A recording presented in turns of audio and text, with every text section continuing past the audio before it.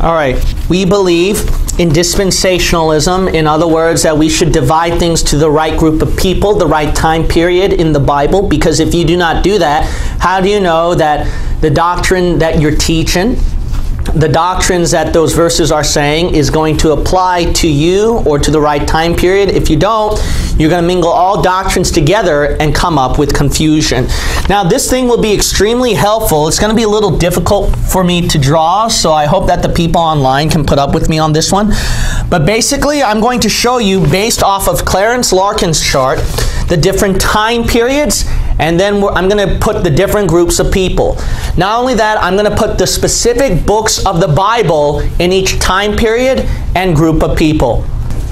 I'm going to put the specific books of the Bible in it, and that way it'll be extremely helpful. Okay, the first thing is going to be creation. Creation. So because I'm going to be drawing this on the board, it's going to take a while, so you'll have plenty of time to draw this too if you want to draw it in your paper. So creation is the first timeline, and we put that at Genesis 1 through 3. In creation, in this timeline right here, we do know that before the fall of Adam, their salvation was different. It was basically do not eat the fruit off the tree. If you do, then basically what happens? You lose your salvation, you're lost. You remain in a saved state as long you do not eat the fruit of the tree in the Garden of Eden. So we see right here that the tree in the Garden of Eden that was their salvation plan. It's different. So it's in Genesis 1 through 3. That's where the doctrine applies. Now, conscience is the next one. Conscience. In conscience, it would go from Genesis 4 through 50. Genesis chapter 4 all the way to the end of 50. This would also include the book of Job. The book of Job. Because Job lived among this timeline. In the age of conscience, you got to realize this that their salvation was dependent upon what their conscience showed them on the plan of salvation. So, depending on how well they lived in their conscience, that's where their salvation was dependent upon. That's why it makes sense that at Genesis chapter 6, what did God see in the conscience of man? It was evil continually. So, because it was evil continually, that's why it makes sense that during that timeline, that God had to judge them and drown the whole world. In fact, they all died in their sins and went to hell, excluding Noah. Noah was the one, the Bible says, that was just and right with God. Job, you, re, you recall that he had to live according to the best, according to his conscience as well. He would talk about himself being pure in his conscience, trying to live clean for God, that he never done this wrong or that wrong. There was no law of Moses at times, so salvation was dependent upon the conscience. During the next time period, it is the law, the law. During the time period of the law, it would cover the majority of your Old Testament. That's going to be important to know. So it's going to cover from all the way from the book of Exodus to Malachi. Malachi. The entire Old Testament. So any doctrine that you see here would apply to the law. During the time of the law, we would see that's where Moses existed. Now, I also forgot to mention Abraham right here. I should have put Abraham right here. So I'll put Noah and then I'll squeeze in Abraham. You'll notice that in Abraham, such as James chapter 2, it mentions that faith without works is dead and that Abraham was justified by faith and works. How? Faith when he believed in the stars of the seed, and then works when he offered up his son Isaac. So, why is his salvation different from ours? It's because he went by conscience, see? He had to go by what was best in his conscience. So because of this, we see right here that this that Abraham, he had to go by what is best according to his conscience, according to his conscience. Then we had the law right here, Moses. So the problem is, is that we see during the time of conscience, it was completely failure. We see how the children of Israel, they would let God down. People commit sin after sin. So God had to make it more specific now. He had to say, I can't just let them go by their conscience. I'm going to have to make it more detailed. That's why the law existed. Because it's not just showing the law of the conscience, but making it written now. Written where it can be specific in detail. He will tell them which one to observe, certain days to observe, how to perform the sacrifice, which morals, uh, immoral sins they shouldn't be committing, and which morals they should be upholding. Now, during this timeline, we also see another day and age where David existed. David, he had to live according to the best of the law. The only difference with David, though, however, is that he received what the Bible says the sure mercies of David. When he committed the sin of adultery and murder, according to the law, he should have been stoned to death. However, David, he found special favor with God because the Bible says that he was a man after God's own heart. Out of all the people in the Old Testament, David was the one who had a very close relationship, spent a lot of time in God, and he even rejoiced in the law. So God made David a very special case. Then we come to the first coming, the first coming. So during the entire Old Testament, their salvation, their lifestyle was dependent upon the law. And the first coming, that's when Jesus came to the scene. During the timeline of Jesus, it would cover from the book of Matthew to John. Matthew to John. During this time, it was under the ministry of John the Baptist. And John the Baptist, when he was preaching, he was preaching toward Jews. And when he was preaching toward Jews, baptism as well as confession of sins was involved. And they had to do these things to retain themselves as the people of God. And then after John the Baptist during this timeline, Jesus obviously came to the scene. Now, here's where things became very different with Jesus. We see right here during this time, it went through creation, things were different. People had to go by conscience. Then God had to aim toward a specific group of people, Jews, toward the law. And then what happened right here during the first coming, John the Baptist was preparing the Jews for this Messiah. But when Jesus came to the scene, which is going to be very important, this is where things became different. When Jesus came to the scenes, what he introduced was addressing to both Jews and as well as Christians. So because of that, you're going to see in these book of the Bible a dual doctrine where you will find some doctrines applying to Christians, some doctrines applying to Jews, especially a lot about end times and tribulation events. During this time period, it's all Old Testament Jewish. Over here, everyone had to go by conscience. During this time, it was just Adam and Eve, and they had to go by not partaking the fruit. So we see a lot of Christian and Jewish doctrines. Then over here during the church age, this is where things really come into play. The church age, what it's going to cover is that it's going to cover two separate categories. So this is what's going to be extremely important, otherwise you're going to mess up in doctrine. Over here, we're going to see in one category, it's going to be the book of Acts and general epistles. General epistles cover from the book of Hebrews to Revelation. So the general epistles will go from Hebrews, and then we're going to include the book of prophecy as well, Revelation. This is the first category. The second category is going to go from Romans to Philemon. So when people say you have to get baptized and confess your sin because they're going all the way from some book called Matthew chapter 3, that's wrong because look at the time period right here. So you'll see right here the time period is different. And not only that, the group of people is also different. So this one will not apply to this timeline.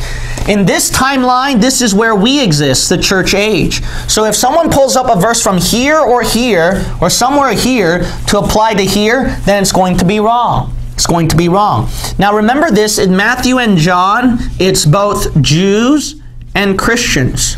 So there will be some verses in these four books that can apply to Christians, but not all. Because Jesus was ministering to two people, remember Jews and Christians. Now, because Jesus was teaching this ministry, what do you think the apostles did? So here comes the apostles. And when the apostles came to the scenery, they also had to teach what? Both Jewish and Christian doctrines. You might say, why is that? Because they were trained under Jesus' ministry. And because they were obviously trained under Jesus' ministry, that's obviously the kind of teaching they're going to give. So this is the books of the Bible that goes with the apostles. And these books of the Bible that go with the apostles, they're going to obviously then contain what? Both Jewish and Christian doctrines. Here, however, we see that things are different. Because why? Because Paul is, his ministry is supposed to be aimed toward non Jews, to Gentiles. So God says, Paul, you're not supposed to go to Jerusalem even. Why? Because his ministry was to the Gentiles. That's why his teaching is going to be different from Jesus and the apostles' ministry. What he's going to do is what? Not take the Jewish aspect, he's going to take the Christian aspect. So in Romans to Philemon, that's where Christian doctrine applies. So that's where we get our teachings from. So the answer, which is extremely helpful in dispensationalism, is that all these verses in the Bible, if they contradict Romans to Philemon, this one too, because remember, this is Jews and Christians. So these books too, if they contradict Romans to Philemon, then you cross them out. If there are verses here that we can match with Christians, then you can use them. Now, Paul's ministry from here we go to the second coming, the second coming. Now, before I continue, I just want to clarify something here. That way people don't uh, accuse me of teaching something wrong. If there is one book, one book, Paul can do Jewish, it's going to be this book. That's going to be important. If Paul is the author of Hebrews, then this will be the only exception. But that should not be difficult to see as an exception because look at the title. See Hebrews. So that should be obvious then that this will be applying to Jews. So it's not going to be Christian teachings from Paul, it's going to be Jewish. Uh, but right here, you'll notice from all these headings of the title that they are Gentile, that they are not Jewish. Now let's continue right here. The second coming, the second coming. Now in the second coming, and I'm running out of space right here, so I'm just going to make this very small. I mean, after all, it's only seven years, right? So, I mean, it's going to be very small anyway. Here is the tribulation, the tribulation. So in the tribulation, which can approximately go for seven years, we call this the second coming because why? The first coming of Jesus, but now he's coming the second time. And when he comes in the second time in the tribulation, what's he going to do? in these verses right here, how you're going to find the right kind of books in the Bible to match, it's going to be what? Verses that talk about end times. So when you find verses that talk about the end times, then we know which parts in the Bible apply to the tribulation. Well, how do you know? Because the verses you're going to find out talking about day of the Lord, the end of days, when the Messiah comes, he restores Israel in the future. So these verses, and you'll know their tribulation. But a cheating, uh, the shorter one to know, an easier way to know, which is going to be obvious, is these books. So Revelation, Acts, and Hebrews. Uh, Acts, Hebrews to Revelation. Acts and Hebrews to Revelation. You might say, and including the book of Matthew to John. Now, the question is, why are these particular books applying to the tribulation? Remember, these two particular books are aimed toward Jewish people, toward Jewish people. It can include some Christian things as well. So remember, there's this dual application. Don't forget that dual application, Jews and Christian, in Matthew and John and Acts to Hebrews. Okay? But how do we know that in these particular books it talks about tribulation? Because here's the thing. Do you know why these books are applying to Jews? You might say, why so, preacher? Because Jesus and the apostles were talking about end times events. When they're talking about end times events, they're talking about Jewish. If you look at the Old Testament, that's going to be very obvious. In the Old Testament, it prophesied when the Messiah comes, there's going to be an end of days, a tribulation. That's why when the Messiah came, he was preaching a lot about end of days to Jews. That's why the apostles, when they were preaching to the Jews, talked a lot about end of days. That's why Paul, when he wrote Hebrews to Jews, was talking a lot about end of days. That's why these books will go right here. As you know, in this first coming, the end of days didn't happen. It didn't happen. So it's going to apply where? Here, the second coming. Now we come to the kingdom. The kingdom. Obviously, in the tribulation, you have to endure to the end. You have to not take the mark of the beast. So there are faith and works involved for salvation. Faith and works involved for salvation. Why is it faith and works? Because it's obvious. Do not take the mark of the beast. You must resist the mark. You must resist the Antichrist persecution. That's a lot of working. In the church age, why did they proclaim faith without works? Salvation only by Jesus Christ. Because they didn't have doctrines that go from Jewish, see, Jewish or end times. Now, right here in the kingdom, it will be the millennium. The millennium in this millennium, so I'll just put a thousand years, that'll be simpler to write. A thousand years, their salvation is going to be works, not faith. Why is that? The reason why is because of these two passages.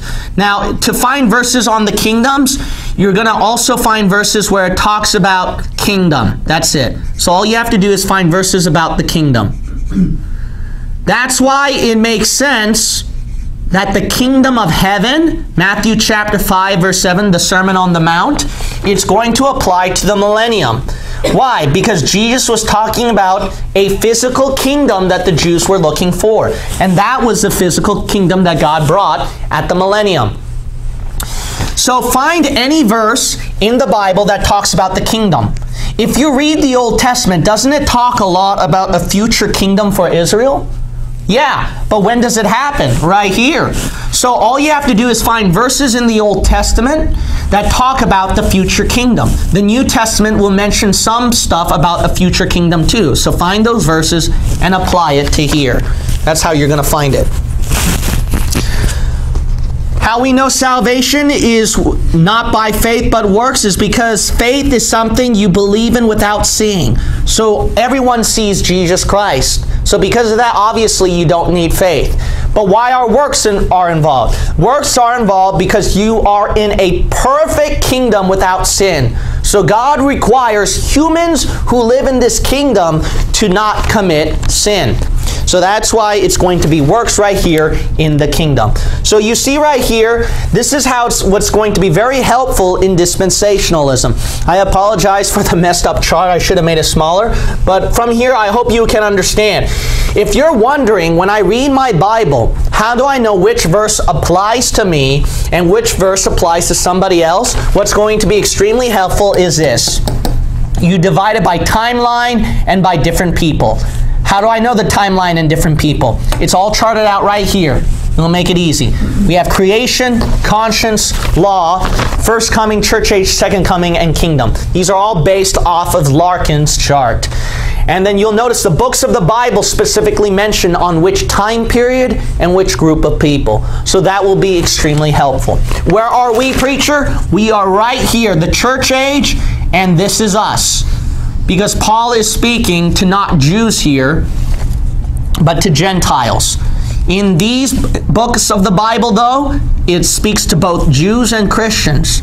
So you're going to have to find which one applies to Christian, which one to Jew, by seeing which matches this one right here.